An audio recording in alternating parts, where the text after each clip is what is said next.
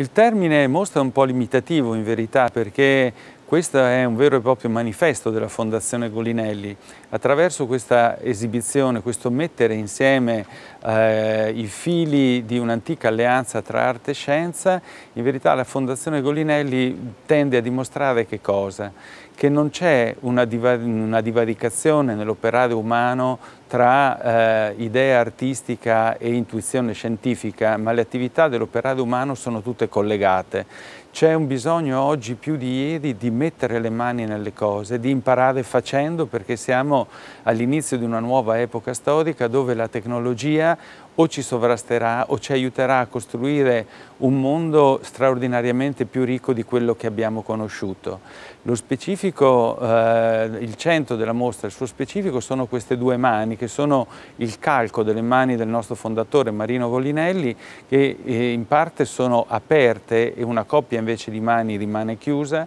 quelle chiuse sull'interiorità dell'uomo custodiscono un libro che è la prima esplorazione dell'anatomia della mano umana operata dal Dürer. Da lì si diparte un ragionamento, un filologico che non prende semplicemente l'arte come un momento, un frammento della bellezza umana, ma lo piega a spiegare che cosa facciamo qui dentro. Da un lato infatti il percorso finisce e confluisce nella mano robotica che sta sviluppando una, start, una start-up che sta dentro al nostro incubatore e dall'altra parte il percorso invece sfocia nella ricostruzione, nella rimaterializzazione della battaglia di Anghiari,